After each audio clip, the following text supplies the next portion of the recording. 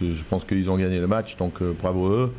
Maintenant, nous sommes déçus que le président n'a pas eu le besoin de, lire le, son livre La défaite pour les nuls. C'était notre objectif et, puis il va le garder encore pendant quelques temps avant de, avant de, le lire.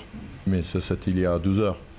maintenant, euh, nous sommes forcément dessus parce que la fin du match avec euh, euh, CTC Hugo Bonival, alors qu'on a défendu pendant au moins 14 temps de jeu pour les marquer.